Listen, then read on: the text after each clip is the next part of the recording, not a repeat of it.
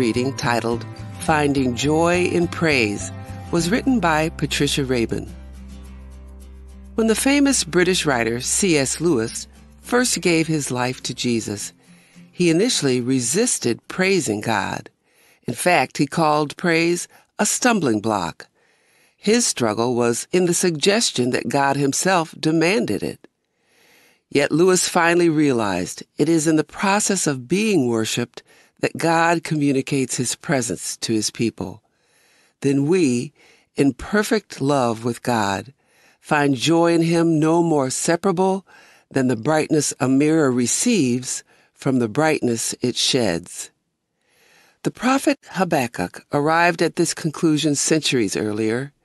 After complaining to God about evils aimed at the people of Judah, Habakkuk came to see that praising him leads to joy, not in what God does, but in who he is. Thus, even in a national or world crisis, God is still great. As the prophet declared in Habakkuk chapter 3, though the fig tree does not bud, and there are no grapes on the vines, though the olive crop fails and the fields produce no food, though there are no sheep in the pen and no cattle in the stalls, yet I will rejoice in the Lord. I will be joyful in God, my Savior, he added. As C.S. Lewis realized, the whole world rings with praise. Habakkuk, likewise, surrendered to praising God always, finding rich joy in the one who marches on forever.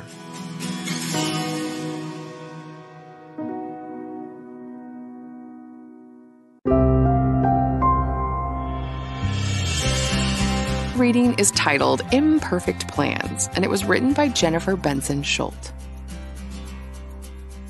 I was exploring a library on the bottom floor of a new community center when an overhead crash suddenly shook the room. A few minutes later, it happened again, and then again. An agitated librarian finally explained that a weightlifting area was positioned directly above the library and the noise occurred every time someone dropped a weight. Architects and designers had carefully planned many aspects of this state of the art facility, yet, someone had forgotten to locate the library away from all the action. In life as well, our plans are often flawed. We overlook important considerations. Our plans don't always account for accidents or surprises. Although planning helps us avoid financial shortfalls, time crunches, and health issues, even the most thorough strategies can't eliminate all problems from our lives. We live in a post Eden world. With God's help, we can find the balance between prudently considering the future and responding to difficulties. God often has a purpose for the trouble He allows in our lives. He may use it to develop patience in us, to increase our faith, or simply to bring us closer to Him. The Bible reminds us in Proverbs 19 Many are the plans in a person's heart, but it is the Lord's purpose that prevails. As we submit our goals and hopes for the future to Jesus, He'll show us what He wants to accomplish in us and through us.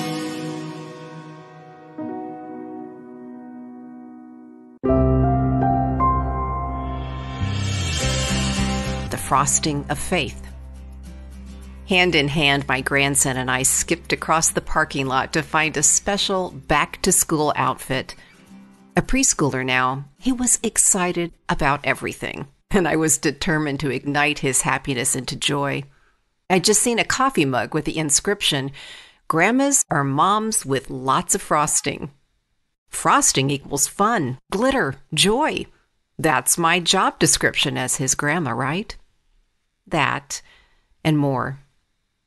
In his second letter to his spiritual son, Timothy, Paul calls out his sincere faith and then credits its lineage both to Timothy's grandmother Lois and his mother Eunice. These women lived out their faith in such a way that Timothy also came to believe in Jesus. Surely, Lois and Eunice loved Timothy and provided for his needs. But clearly, they did more. Paul points to the faith living in them as the source of the faith later living in Timothy. My job as a grandmother includes the frosting moment of a back to school outfit. But even more, I'm called to the frosting moments when I share my faith, bowing our heads over chicken nuggets, noticing angelic cloud formations in the sky as God's works of art, chirping along with a song about Jesus on the radio.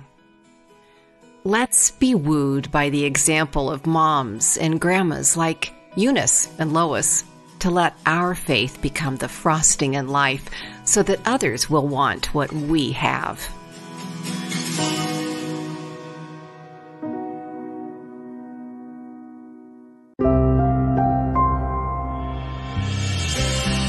Titled Serving the Least, and it was authored by John Blase. His name is Spencer, but everybody calls him Spence. He was a state track champion in high school, and then he went on to attend a prestigious university on a full academic scholarship. He lives now in one of America's largest cities and is highly respected in the field of chemical engineering. But if you were to ask Spence his greatest achievements to date, he wouldn't mention any of those things. He would excitedly tell you about the trips he makes to Nicaragua every few months to check in on the kids and teachers in the tutoring program he helped establish in one of the poorest areas of the country. And he'd tell you how enriched his life has been by serving them. The least of these. It's a phrase people use in a variety of ways, yet Jesus used it to describe those who, according to the world standards, have little or nothing to offer us in return for our service. They are the men and women and children the world often overlooks, if not forgets completely. Yet, it's exactly those people Jesus elevates to such a beautiful status by saying in Matthew 25, Whatever you did for them, you did for me. You don't have to have a degree from a prestigious university to understand Christ's meaning. Serving the least is the same as serving Him. All it really takes is a willing heart.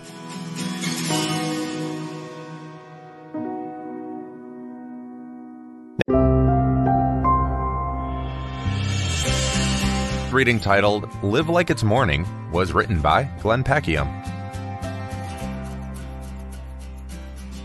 When I have to travel across time zones by air, I try various remedies to avoid jet lag. I think I've tried them all. On one occasion, I decided to adjust my in flight eating to the time zone where I was heading. Instead of eating dinner with the rest of the passengers, I kept watching a movie and tried to fall asleep. The hours of elective fasting were difficult, and the breakfast that came right before we landed left much to be desired. But living out of sorts with those around me worked. It jolted my body clock into a new time zone. Paul knew that if believers in Jesus were to truly reflect him in their lives, they would need to live out of step with the world around them. They were once darkness, but now they were to live as children of light, as it says in Ephesians 5 8. And what might that look like? Paul goes on to fill out the picture in Ephesians 5 9. The fruit of the light consists in all goodness, righteousness, and truth. Sleeping through dinner may have seemed foolish to the people on my flight, but even as it's midnight in the world, as believers, we're called to live like it's morning. This may provoke scorn and opposition, but in Jesus, we can walk in the way of love, following the example of the one who loves us and gave himself up for us as a fragrant offering and sacrifice to God.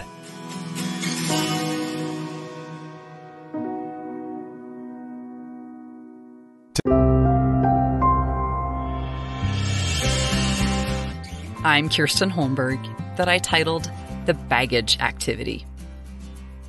Karen, a middle school teacher, created an activity to teach her students how to better understand one another. In the baggage activity, students wrote down some of the emotional weights they were carrying. The notes were shared anonymously, giving the students insight into each other's hardships, often with a tearful response from their peers. The classroom has since been filled with a deeper sense of mutual respect among the young teens, who now have a greater sense of empathy for one another. Throughout the Bible, God has nudged his people to treat one another with dignity and show empathy in their interaction with others. As early in the history of Israel as the book of Leviticus, God pointed the Israelites toward empathy, especially in their dealings with foreigners. He said to love them as themselves because they too had been foreigners in Egypt and knew that hardship intimately. Sometimes the burdens we carry make us feel like foreigners, alone and misunderstood, even among our peers. We don't always have a similar experience to draw on, as the Israelites did with the foreigners among them. Yet we can always treat those God puts in our paths with the respect and understanding that we ourselves desire. Whether a modern day middle schooler an Israelite, or anything in between, we honor God when we do.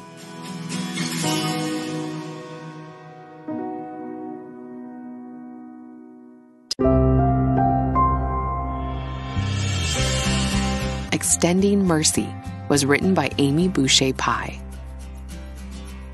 Reflecting on how she forgave Manasseh, the man who killed her husband and some of her children in the Rwandan genocide, Beata said, My forgiving is based on what Jesus did. He took the punishment for every evil act throughout all time.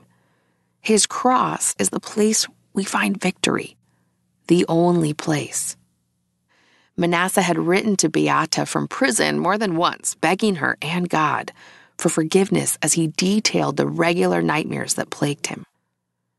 At first, she could extend no mercy, saying she hated him for killing her family.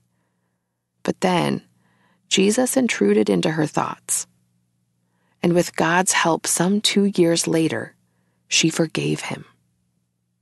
In this, Beata followed Jesus' instruction to his disciples to forgive those who repent.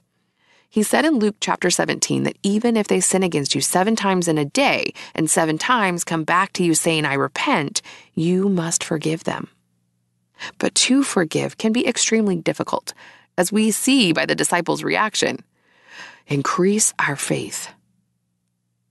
Beata's faith increased as she wrestled in prayer over her inability to forgive. If, like her, we're struggling to forgive, we can ask God through His Holy Spirit to help us to do so. As our faith increases, He helps us to forgive.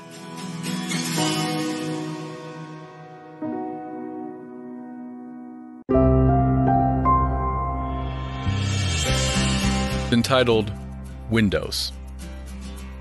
Near the foothills of the Himalayas, a visitor noticed a row of houses without windows. His guide explained that some of the villagers feared that demons might sneak into their homes while they slept, so they built impermeable walls. You could tell when a homeowner began to follow Jesus because he put in windows to let in the light. A similar dynamic may take place in us though we might not see it quite that way. We live in scary, polarizing times. Satan and his demons instigate angry divisions that split families and friends. I often feel like hiding behind my walls. But Jesus wants me to cut in a window. In the book of Isaiah, Israel sought refuge in higher walls, but God said their security lay with him. He reigns from heaven, and his word governs all.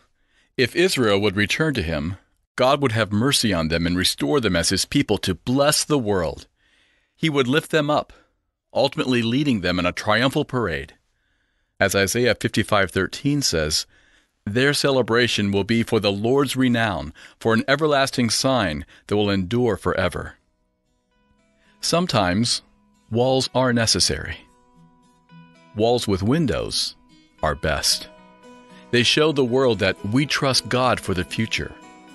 Our fears are real. Our God is greater. Windows open us to Jesus, the light of the world, and to others who need him.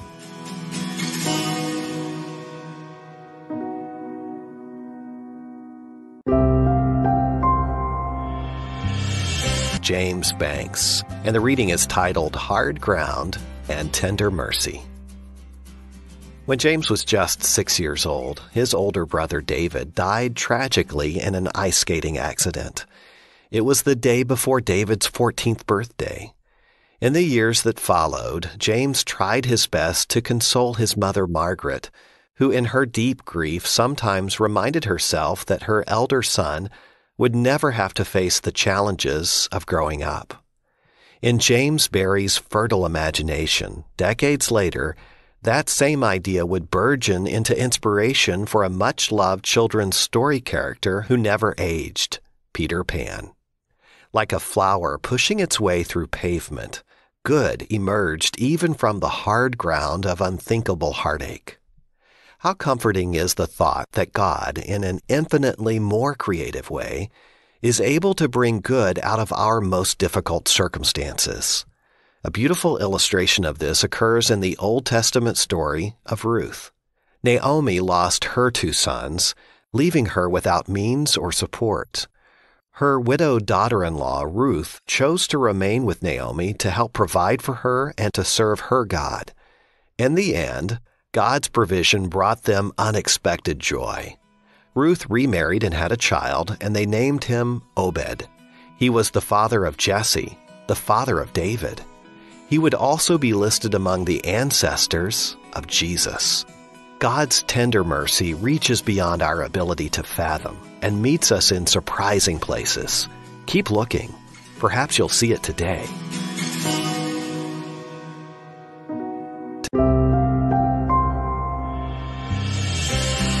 Reading titled Quarantined by Fear was written by Julie Schwab. In 2020, an outbreak of the coronavirus left the world in fear. People were quarantined, countries were put under lockdown, flights and large events were canceled. Those living in areas with no known cases still feared that they might get the virus. Graham Davey, an expert in anxiety, believes that negative news broadcasts are likely to make you sadder and more anxious. A meme that circulated on social media showed a man watching the news on TV, and he asked how to stop worrying. In response, another person in the room reached over and flipped off the TV, suggesting that the answer might be a shift in focus. Luke 12 gives us some advice to help us stop worrying. Seek his kingdom.